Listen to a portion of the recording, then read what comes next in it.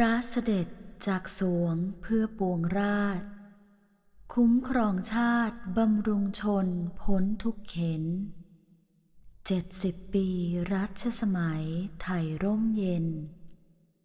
ดังเดือนเพ็ญอบอุ่นล่ายามราตรี พระเสด็จกลับสู่สวงล่วงลับแล้วร่มโพธิ์แก้วนิราชร้างห่างถิ่นที่ ข้าพระบาทโศกอาดูรพูนทวี พระภูมิสถิตในดวงใจนิรันดร์ปวงข้าพระพุทธเจ้าขอน้อมเกล้าน้อมกระหม่อมรำลึกในพระมหากรุณาธิคุณหาที่สุดมิได้ ข้าพระพุทธเจ้า คณะผู้บริหารและพนักงานบริษัทโพลิพลัสเอนเตอร์เทนเมนต์จำกัด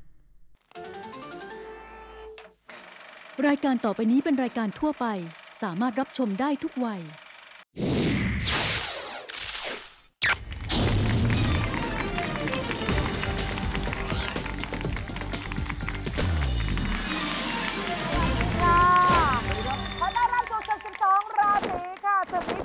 เดียวที่จะทำให้คุณรู้ลึกรู้ดี รู้ในสิ่งที่คุณไม่เคยรู้มาก่อน ครับผม แขกรับเชิญของเรา 12 ราศีผู้ร่วมศึกของเราทั้งหมด ทั้งไม่ว่าจะเป็นคุณพ่อหรือแม้จะเป็นคุณลูกเอง ไปพบพวกเขาเลยนะครับ พ่อบ้านปะทะสาวโซนคน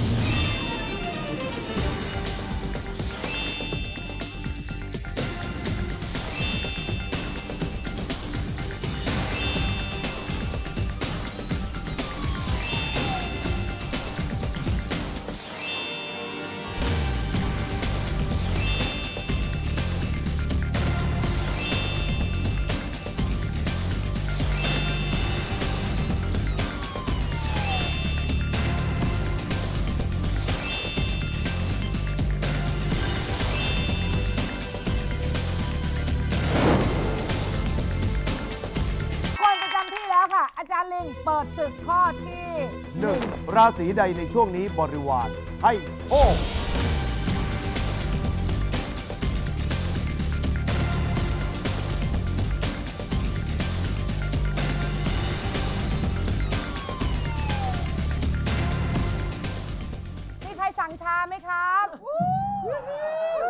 ชาชักแล้วก็โรตีกรอบนะฮะโรตีของเรามีชื่อเลยครับชื่อโรตีทิชชู่ทำไมอะเพราะมันบางเหมือนทิชชู่กับกรอบครับอะมาเรียบร้อยวิชุดาค่ะละวิชุดาเดี๋ยวตอบละว่าราศี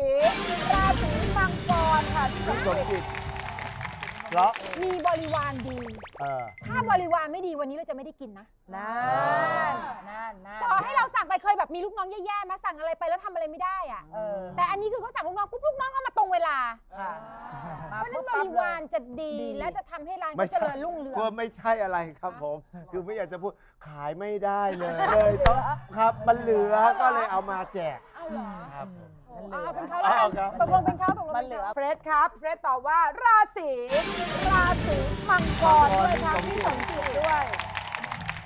ไม่ไม่รู้หนูว่าพี่เขาเป็นคนดึงดูดยังไงไม่รู้อะเหมือนแบบพี่เขาเป็นคนแบบดูดูเป็นคนที่ครับมีมิตรมีเป็นมิตรมีมิตรดีอะค่ะเป็นมิตรเป็นน่ารักอ่าน่ารักหน้าตาเป็นมิตรเป็นไม่มิเป็นตรพิษมีเป็นความสัมพันธ์ภัยดีมีมนุษยสัมพันธ์ดีอย่างเงี้ยค่ะเออดูดูแล้วอยากอยู่ใกล้ๆอะไรอย่างเงี้ยค่ะอ่าพี่สมจิตตอบว่าครับรา ศีราศีมังกรค่ะเพราะเพราะว่าที่จะตอบตัวเองด้วยครับก็เพราะว่าผมทำยิมมวยก็มี ลูกบริวารลูกน้องเยอะค่ะครับมีทั้งเอ่อคนมาเรียนมวยอืมมีทั้งครูมวย ครับ แล้วก็มาเปิดร้านชาชักเราดูแลเขาดูแลกี่คนตอนนี้ ประมาณ 10 กว่าชีวิตครับ สิบกว่าเราก็ชีวิต ดูแลเขาเหมือนครอบครัว เราเราบริหารลูกน้องเยอะ เราก็ว่าเราดูแลเขาอย่างดูแลเขาอย่างดี เขาน่าจะรักเราดูเหมือนพี่น้องเลยกินข้าวผมก็กินกับเขาอืมอะไรอย่างเงี้ยครับเออพี่มัมครับ พี่มัมตอบว่า ราศีราศีพฤษภครับน้องหญิง ทำไมน้อถึงงหเป็นญิน้องงหญิงก็จะมีบริวารใช่ไหมคะ ใช่ฮะบริวารให้โชค ใช่ฮะเขาทำผลิตภัณฑ์เขาทำผลิตภัณฑ์ลูกน้องเก่ง ลูกน้องเก่งสวยแล้วด้วก็ย สวยด้วยแล้วแล้วยังไงเกี่ยวอะไรกับลูกน้องเขาไปเสียให้รอด เขาเขาได้ลูกน้องดีบริวารดีเขาก็เลยขายดี เออ พี่อ้อตอบว่าราศีราศีสิงห์ครับตัวเอง คือวันหนึ่งเนี่ย วันหนึ่งธุรกิจที่เราโกงเพื่อนมาเนี่ยแล้วธุรกิจทัวร์ที่เราโกงเพื่อนมาเนี่ย มันกำลังเข้าสู่ปีที่ 5 ซึ่งมันเติบโตมาก ธุรกิจอะไรมีครับตึกพี่อ๊อฟเป็นของตัวเองบริษัททัวร์ครับเคยไปมาแล้วฮะ ไปเป็นแล้ไงวครับ ไปญี่ปุ่นมาแล้ว แล้วเป็นไง แพงมาก แต่มาตรฐานเขาดีเออแล้วในฝั่งของเขาแล้วเดี๋ยวค่อยมาคุยกันหนูมีอะไรจะพูดเกี่ยวกับทัวร์เขาไหม หนูมีหนูพูดตรงนี้เลยว่าหนูมีแล้วลูกน้องจะดียังไง ลูกน้องมันจะให้คุณคือวันยังไงเนี้ยให้คุณจากแต่ก่อนให้คุณปวดหัวใช่ไหมฮะอ่าตอนนี้เขาเริ่มให้คุณสบายขึ้นแล้วอ๋อผมไม่ต้องค่อยเข้าไปบริหารอะไรมากแล้วเออก็เหลือแค่ตรวจนิดหน่อยแล้วก็ประชุมอะไรอย่างเงี้ยครับพี่เล่นต่อว่าราศีราศีสิงห์ครับพี่อ๊อฟครับอย่างที่พี่อ๊อฟบอกตั้งแต่ 2สัปดาห์ที่แล้วว่าพี่อ๊อฟเนี่ยหน้าตาดูมีราศีมาก ราศีครับผมครับ แล้วก็ราคีก็ตามมาด้วยนะและที่สำคัญผมว่าดูอย่างเงี้ยเป็นคนที่แบบว่าเจ้าน้ำเจ้าเนื้ออะไรใช่ไหมเออดูอวบอันมีราศีและที่สำคัญโกงเก่งด้วย โกงเก่งด้วย อย่าเรียกว่าโกงเรียกว่าเรียกว่าเป็นการออมเงินให้เพื่อนอ๋อป้าน้องก้าวค่ะ น้องก้าวตอบว่าราศี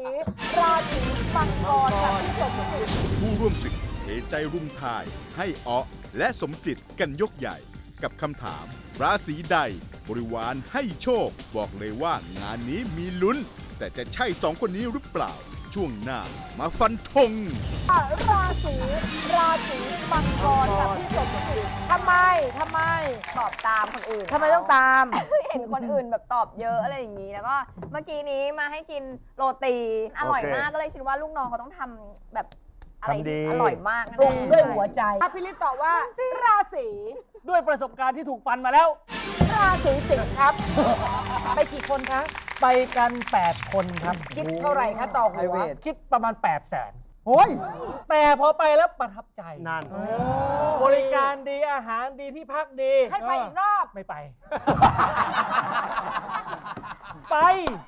แต่อาจจะต้องเพิ่มคนขึ้นไปอีก ไปที่อื่นด้วย เพิ่มคนขึ้นไปเพื่อจะได้มีคนตัวหารมากขึ้นจะได้ถูกลง เก็บจากพี่ 8 0 0แสนครับจริง ๆ ค่าทัวร์ทั้งหมดทริปนั้นเนี่ยแค่ 4 เท่านั้น นั่น อีก4อะมันไปเที่ยวกับลูกน้องมันแล้วผมถึงเชื่อว่าลูกน้องจะทำให้ดี อ๋อรวยเพราะครับลูกน้องรวยครับเออพี่พี่ตอบว่าราศีราศีสิงห์ครับพี่อ๊อฟรวยทำไม เพราะอะไรพี่ฤดูเอ่อเขาเรียกไฮซีซั่นกำลังมาครับ ก็น่าจะเป็นช่วงที่ควรใช้กลับมาใช้เงินอีกครั้งหนึ่งอีกก็เนี่ยน่าเขาจะเจริญเติบโตโอ้โหงานเขาเยอะมาก งานเยอะงานเยอะเนี่ยเตรียมเข้าตลาดแล้วตอนเนี้ยเฮ้ยเข้าตลาดหลักทรัพย์เหรอตลาดสดเลยไปขายผักแล้วน้องหญิงตอบว่าราศีราศีสิงห์ค่ะพี่อ๊อฟด้วยทำไม คือบริษัทที่หญิงทำอาหารเสริมเนี่ยล่าสุดเนี่ยก็มีพาผู้โชคดีไปเพื่อไปเที่ยวนะคะ แต่ว่าเป็นเป็นเป็นครั้งที่ 2 ที่บริษัทหญิงทำครั้งแรกเนี่ยใช้ทัวร์อีกอันนึง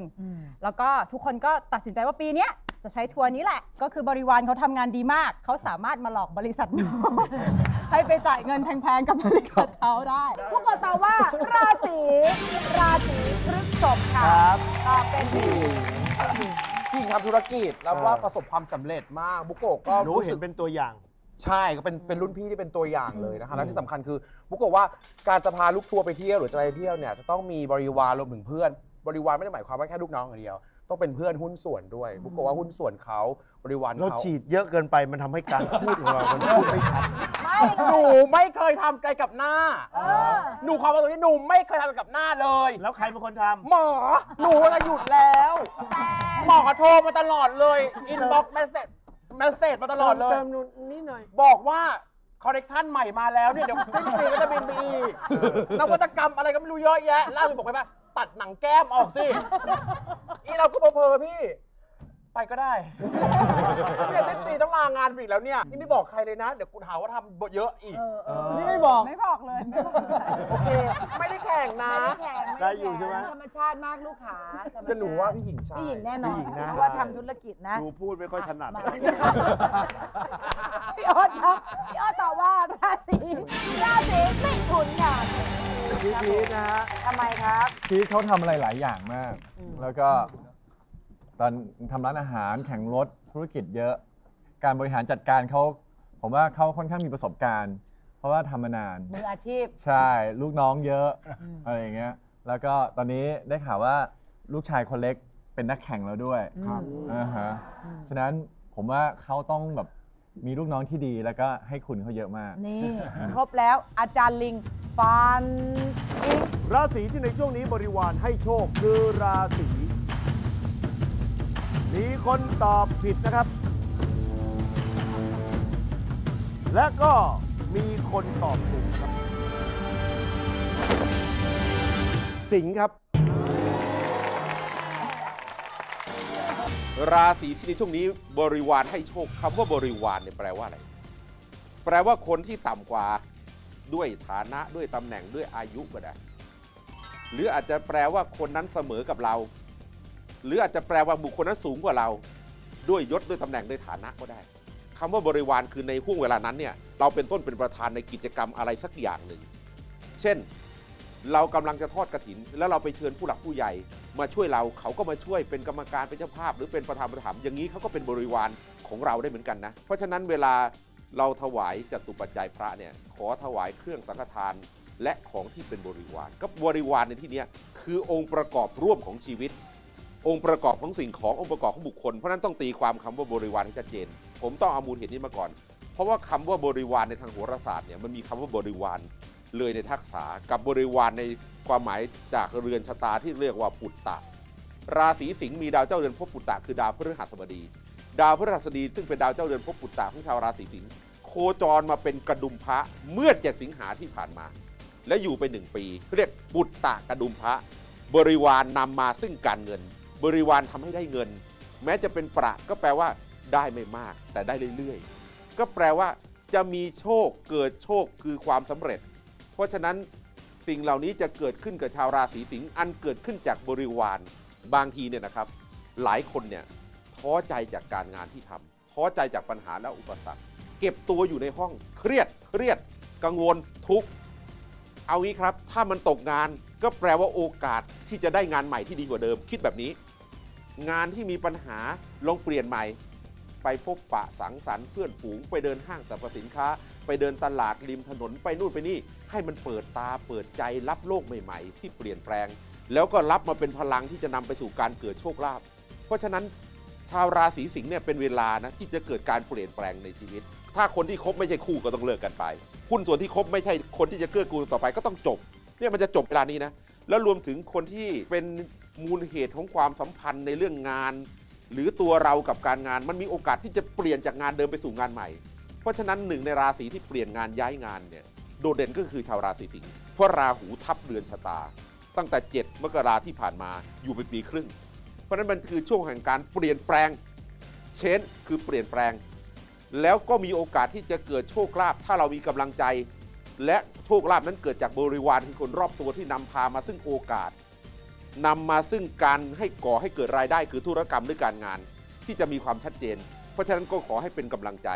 อีกอย่างหนึงคือโปรเจกต์หรือโครงการต่างๆ ที่เกิดขึ้นมาเพราะบริวารหรือเพื่อนแนะนำหรือบริวารแนะนำคนรอบตัวแนะนำก็เป็นไปได้ เพราะฉะนั้นคำว่าช่วงนี้คือเดือนตุลาปลายเดือนพฤศจิกายนและธันวาคม จะเป็นช่วงที่บริวารให้โชค ก็คือชาวราศีสิงห์เอาละครับ ด้วยเหตุผลทั้งหมดทั้งมวลที่ว่ามานี้ จึงนำมาเป็นบทสรุปในทางโหราศาสตร์แบบฟันธงที่ว่า ราศีที่ในช่วงนี้ บริวารให้โชคได้แก่ชาวราศีสิงห์ฟันธงครับ ล่าสุดพาลูกน้องไปเที่ยวสิงคโปร์ใช่ครับรับน้องนั่งบิสเนสหมดเลยใช่ครับดีจังเลย คือมันผมเงินไม่รู้จะเราพูดเงินมันไปเหยังลืไงอเงินมันเหลือคือไม่ได้เงินเหลืออมเงินมันไม่จะเอาค่อยไว้ที่ไหนไม่ค่อยล่ะมีแต่ว่าเอาเงินเพื่อนมา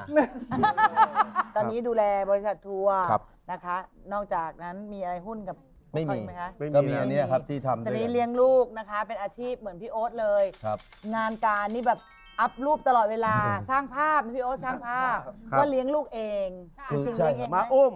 ถ่ายรูปปุ๊บแล้วก็วาง อย่าเรียกว่าวาง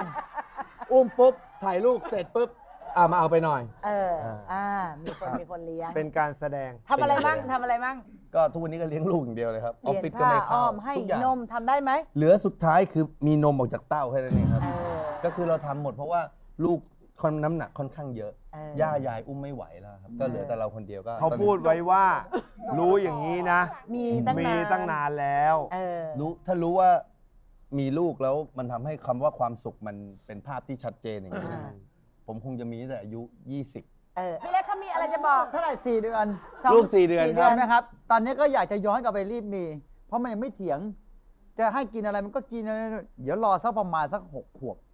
เหรอทุกอย่างจะกลับตลปัดนอนจริงเหรอ เข้าห้องน้ำปิดล็อกประตูด้วยเดี๋ยวนี้ ไม่คุยกับป้าเออนี่เออขัดใจเป็นไหมเพราะว่าขับรถเบรกแรงแล้วหัวไปชนเบาะอ๋องอน งอน งอนบ้านนี้งอนไหม ไม่ค่อยงอนเท่าไหร่ฮะอ่าแต่จะชอบใช้แบบสีหน้า เหมือนแม่มัเหมือนเมียเขาอะไม่พูด นางรักมองหน้า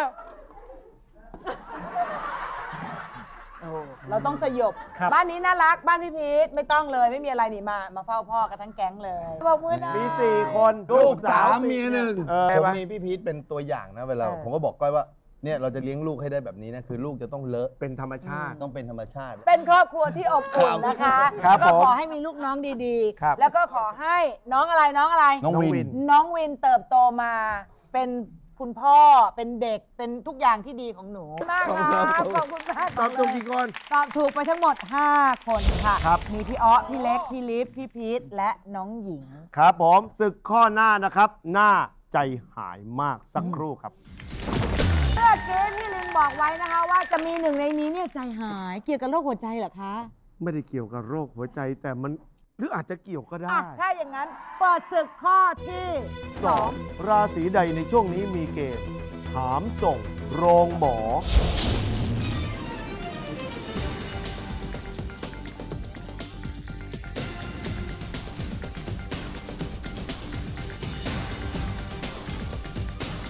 น้องหญิงตอบว่าราศีราศี กรกฎครับพี่มาครับหนูไม่คิดหน่อยเหรอลูกหนูหนูคิดว่าลุงเขาจะป่วยเหรอลูกเหรอ ไม่ก็เห็นวันนี้แบบว่า ทั้งรถไหลอะไรก็ตามแล้วก็แบบเหมือนแบบกังวลใจอาจจะมีภาวะเครียดฉุกเฉิน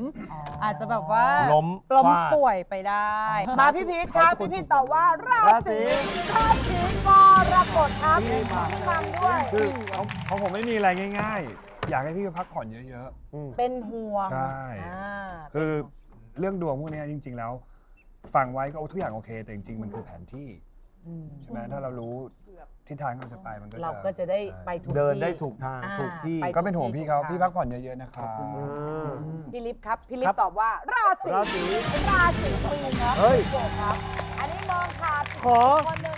ำไม ขอนอกประเด็นเขาเรียกเขาเรียกนอกกระแส คือไม่ตาม ใช่ เพราะว่าเขาชอบไปเกาหลีอืมชอบไปปุ๊บปุ๊บปุ๊บปุ๊บทำหนี่น้าเป็นอย่างหนึ่งที่อาจจะแบบอยากจะไปอีกอ๋ออ่าก็คืออาจจะมีดวงว่าจะต้องเข้าแล้วพอห้งผ่ไปตัดเกาหลี ก็คือการไปโรงหมอโรงพยาบาลใช่นั่นแหละเหมือนกันใช่ใช่ไปแบบเป็นๆแต่กลับมาแบบเป็นเป็นเหมือนกันเป็นเป็นเป็นเป็นไปแบบเป็นๆกลับมาก็เป็นอ่าเออก้าวต่อว่าราศี ราศีกรกฎครับพี่พี่มามามเพราะอะไรเพราะอะไรไม่เรียกลุงอะลูกลุงอ่าลุงลุงมามครับทำไมเป็นลุงมามลุงมามลุงมามครับ ไม่รู้อะ ตามคนอื่น พี่เล็กตอบว่า ราศีราศีเมษครับน้องก้าวครับทำไมอะโอ้เพราะว่าน้องก็อาจจะกำลังเขาเรียกอะไรนะ งานเยอะ งานเยอะ เออ ต้องแบบว่าพักผ่อนน้อยเหมือนกับพวกเราที่เคยทำใช่ไหมครับ อาการพวกนี้มันอาจจะมีออกอาการได้ พวกเราเคยมีช่วงงานเยอะด้วยเหรอไม่ถึงน้อง อ๋อหมายถึงน้อง น้องแต่หลายๆคนผม เชื่อได้ว่าทุกคนเคยผ่านช่วงที่แบบว่าเหนื่อยนะ เหนื่อยนอน 3 ชั่วโมง4ชั่วโมงแล้วต้องเดินทางทำงานด้วยใช่ครับแล้วซึ่งนี้ก็คือน้องเขาอาจจะแบบว่ามาเลย เป็นเวลาเป็นของน้องอ่าเป็นเวลาของเพราะน้อง ฉะนั้นอาอาจจจะจะถูก ป่วยไข้ได้ตอนแรกก็อาจจะมองที่ลุงเหมือนกันที่บอกว่าตอนตั้งคำถามเออแล้วทำไมผไม่เอาอะ เออแล้วทำไมไม่เลิกเลิกลุงอะ ก็ลุงโดนคนมองเยอะแล้ว ลุงต้องครับมีรักลุงนะเออรักลุง รักคุณครับครับพี่อ้อครับพี่อ้อตอบว่า ราศีราศีกรกฎครับพี่มามพี่ด้วยอันนี้อันนี้ด้วยความเป็นห่วงครับพี่มามอะไรเงี้ยด้วยความเป็นห่วงก็คือแบบอยากให้พี่มามพักผ่อนเยอะๆอะไรเงี้ยพี่ครับก็นอนแต่ว่ามันไม่ค่อยหลับอะราศีราศีกรกฎครับด้วยเป็นตัวเองพี่มัมยังตอบตัวเองเลยเพราะอะไรเพราะอะไรพี่มัมมีเหตุผลไหมคะมีครับที่ตอบตัวเองเพราะว่ามันเป็นไปไม่ได้มันเป็นการต่ออายุค่ะค่ะค่ะค่ะพี่จะพูดเพื่อที่จะไม่ให้ตัวเองมันเป็นการแก้เคล็ดอะไรอย่างเงี้ยค่ะค่ะพี่สมจิตตอบว่าแต่ดีนะ ราศีราศีมังกรค่ะรออะไรทีแรกจะตอบพี่มัมนะ เพราะทุกคนตอบพี่มัมหมดเลยผมมอง เอ๊ะพี่มัมนี่น่าจะไม่ต้องหามส่งโรงพยาบาลหาหมอเพราะ น่าจะส่งวัดได้อย่างเดียวเลยอ้าวเข้าเมนได้เลย ผมมองว่าผมเพิ่งผ่าตัดมาด้วยแล้วก็อ่าเขาเรียกอะไรอะ ปีเนี้ยทั้งปีผมป่วยบ่อย ครับ ล่าสุดผมหมอนรองกระดูกแตก ไม่สามารถเดินได้นอนเหมือนพิการอยู่บ้านเลย ก็ต้องไปหาหมอตอนสองทุ่มมั้งฮะจำจำได้ที่ไปที่คลินิก หมอตรวจอาการเสร็จปุ๊บหมอบอก คุณสมจิตครับ คุณจะอยู่ที่นี่ได้ไม่นานแน่นอนคลินิกปิดสองทุ่มครึ่งโอ้ก็เพิ่งผ่าตัดมาด้วยใช่ เราเลยมองว่า เอ๊ะทำไมเกิดโรคอ่าเขาเรียกว่าป่วยบ่อยพวกเราใช้ร่างกายเยอะ ใช้ร่างกายบ่อยครับ ใช่ ก็เลยว่าใช่ปีนี้ทั้งปีผมเข้าโรงพยาบาลบ่อยมาก เฟรดค่ะ เฟรดตอบว่าราราศีศี ราศีกรกฎค่ะพี่มัมด้วยเห็นเป็นเช่นนั้นทำ งานกับพี่มามมาหลายครั้งอะค่ะเออ คือจะแบบว่าเขาจะดูเพลียๆดูเหนื่อยๆคงจะแบบทำงานเยอะ เราก็คิดว่าพี่มามควรจะพักบ้างเลยบ้าง มาวิชุดาตอบว่าราศีมังกรค่ะสมจิตด้วยค่ะ เพราะเพราะ พี่สมจิตเพิ่งผ่าตัดมาแล้วพี่สมจิตเนี่ยเป็นคนที่แบบว่าเอ่อมีงานเกี่ยวกับการออกกำลังกาย การตีลังกาอะไรเยอะ ทุกวันนี้เขาต้องพยายามที่จะใช้ชีวิตแบบคนปกติทั่วไป อ่า ซึ่งเราคิดว่าบางทีบางครั้งมันอาจจะมีการที่เขาเผลอลืมตัวทำอะไรที่มันแบบพลาดไปบ้างอะไรอย่างเงี้ย overuse ค่ะโอ้มัน overuse เป็นคนดูมีเหตุผลมีหลักการผมดีชอบผู้หญิงแบบเนี้ยเล็กๆนะสามารถขยายได้แบบผมชอบผู้หญิงแบบเนี้ยถูกคือสักข้อไหมขยายเยอะแล้วก็ไม่ถูกสักข้อแต่ก็เอาใหม่ได้อะ พี่โอตอบว่า ราศีราศีมังกรค่ะพี่สมจิตด้วย คือเรามองว่าเขาเป็นนักกีฬา ฮะทีนี้เกิดอาจจะเกิดอาการบาดเจ็บเล็กๆน้อยๆเรื่องของกล้ามเนื้อเรื่องของอะไรอย่างเงี้ยครับเข้าไปเช็คอัพเฉยๆอะไรอย่างเงี้ยก็อ่าเขามีส่วนแล้วก็เมื่อกี้คือเหตุผลเขาซัพพอร์ตด้วยคือเขาต้องเขาผ่าตัดมาใช่ไหมเข้าไปเข้าผ่าพอตัดเลยติดติดๆกันเลยนะ ก็ไม่ติดกันนะพี่สมจิตเนาะก็แบบห่างอะไรสามไปก่อนปีแล้วก็เว้นสามปีไว้แล้วก็มาหลัง ผมผ่าทั้งหมดหน้าห้าก่คอรั้งนแล้วอะหน้าก่อนตัวผมผ่ามีไหล่สองข้างโอ้ไหลสองข้างเลยเหรอ ครับ แก้ม แล้วก็พอพอพอแค่นี้อย่ามาอวด นู่น คุณผ่ามากี่ครั้งในชีวิตบอกไปบุกโกะว่า กี่ครั้ง 8 ครั้งค่ะเต้จะบอกว่าตั้งแล้แต่วยังไม่มีทีท่าว่าจะหยุดเลยผ่าเพราะอุบัติเหตุนักชกมวยไงครับมาน้องบุกโกะค่ะบุกโกะตอบว่าราศีราศีกรกฎค่ะคุณแม่มัมแม่มาเพราะเพราะทำไมคะจริง ๆ แล้วอย่างที่บอกว่าเป็นคนที่แบบสนิทกับคุณแม่มามแล้วก็ชอบติดตาม คุณแม่ชอบแบบ ดึกๆดื่นๆบางทีแบบตีสามตีสี่ก็ up รูปอย่างเงี้ย up รูปในจริงเหรอใน Instagram up รูปอย่างเดียวป่ะแล้วก็บางทีก็ร้องเพลงผ่านแอปพลิเคชัน แล้วก็เข้าไปดูกดไลค์ให้เขา อะไรอย่างเงี้ยต่างๆนานาอาจารย์ลิงครบแล้ว ฟันทิ้งราศีที่ในช่วงนี้มีเกณฑ์หามส่งโรงหมอคือราศีมีนตอบถูกนะครับ และมีคนตอบผิดนะครับ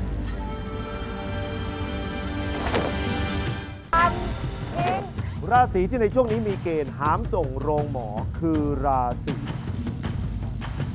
มีคนตอบถูกนะครับ และมีคนตอบผิดนะครับ กรกฎครับ คำถามข้อนี้เหมือนแช่งคุณ แต่มันก็เป็นไปตามกฎเกณฑ์โหราศาสตร์ ชาวราศีกรกฎเนี่ยนะครับ ถ้าหากมีดาวอังคารโคจรเล็งชะตา ทางภาษาโหรเรียกได้ว่าเข้าเกณฑ์ในเรื่องเคราะห์ที่เรียกว่าอัมพุภูมโม คือราศีที่เป็นราศีแม่ธาตุน้ำอย่างกรกฎเนี่ยคือราศีอัมพุ ภาษาโหรแปลว่าน้ำแม่ธาตุน้ำคือกรกฎภูมิโมนะคืออังคาร หากดาวอังคารมะเร็งชะตา ชาวราศีกรกฎเข้าเกณฑ์ข่าวเคราะห์หรือโดนคาด แปลว่ามีเกณฑ์ได้รับอุบัติเหตุป่วยเจ็บหนัก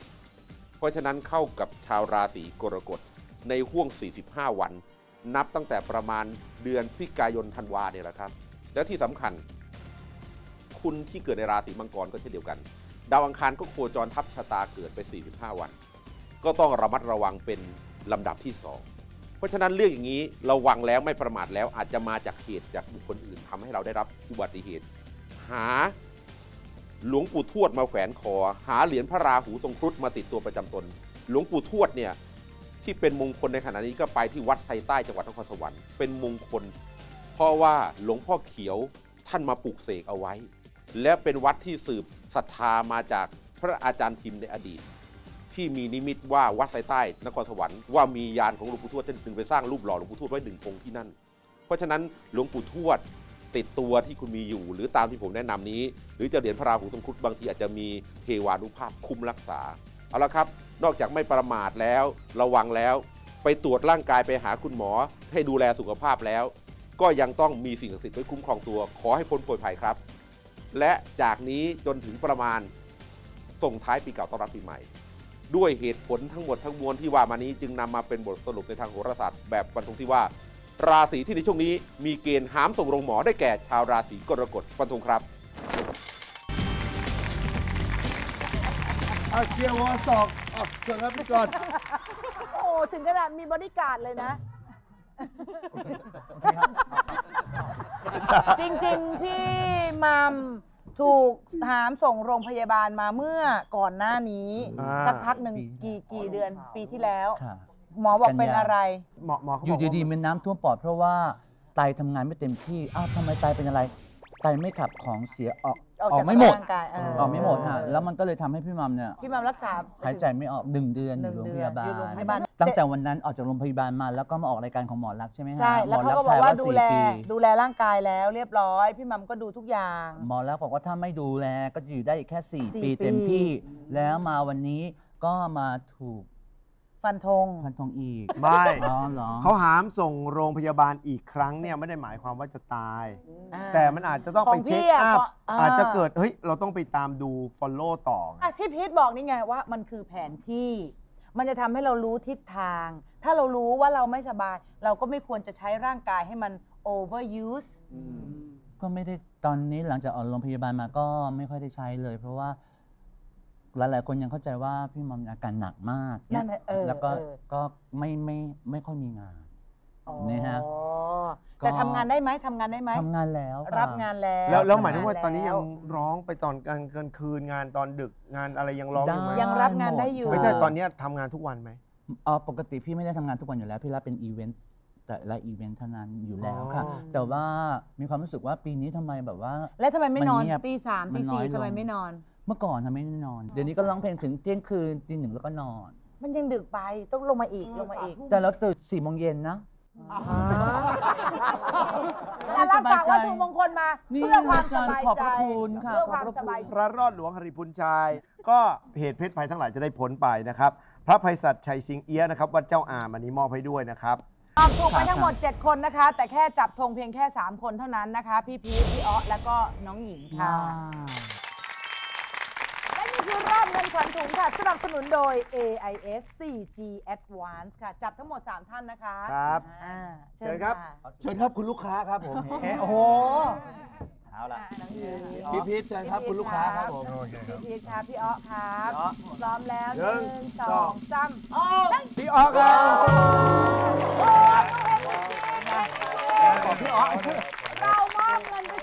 ทบทุนซื้อนมให้น้องวินอีก 10,000 บาทจาก AIS 4G Advance ค่ะครับโอ้โหโอ้โหพอได้เงินไปซื้อนมมานะลูก อ่าได้แพมเพิร์สด้วยไม่ต้องห่วงพี่ผมว่าก่อนจะเอาเงินไปให้ซื้อนมให้ลูกอะเอามอบให้กับป้ามัมดีกว่า เอาพี่มามาทงไปก่อน อันนี้สำคัญอันนี้ต้องให้ลูก อันนี้ทำไมต้องทำไมให้ใจลูกอย่างนี้ย ให้ลูกปาให้กลูหักวให้ให้ลูลูก ก อยู่กับเราถึง 3 สัปดาห์นะคะ คราวหน้าถ้าทีมงานติดต่อไป ครับ ไม่ต้องมาก็ได้ มา เรา เราต้อง follow up ถ้าไม่มีพี่มัมมันมันหา ไม่สนุกโอเคงั้นถ้าอย่างนั้นทีมงานติดต่อไปพี่ต้องมานะคะ yes ค่ะพวกเราเป็นห่วงพี่คิดถึงพี่ คนผู้ร่วมศึกของเรา 12 ท่าน 12 ราศีขอบคุณค่ะขอบ